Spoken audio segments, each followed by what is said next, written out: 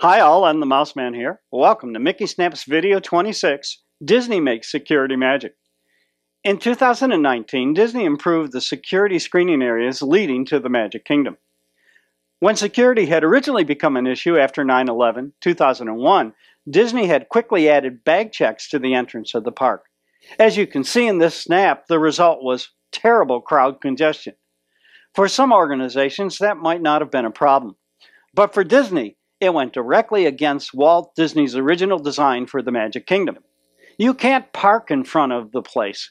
You park, then you tram, then you ride a monorail or a boat, and it can take as much as 45 minutes to get there, and that's intentional.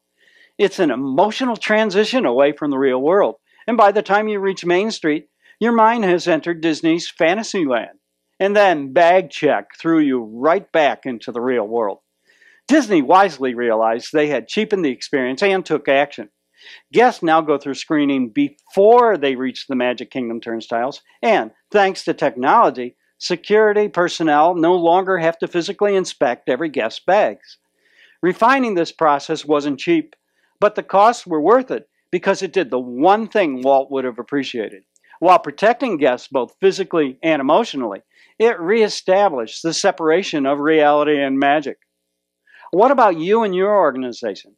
Do you establish a proper mood for your products and services? It's an important but often overlooked key to customer satisfaction. And do you address real world issues without violating your core promise? If security screenings can create magic, you can too. Need Disney inspired methods? Send me an email, give me a call. I'm all ears.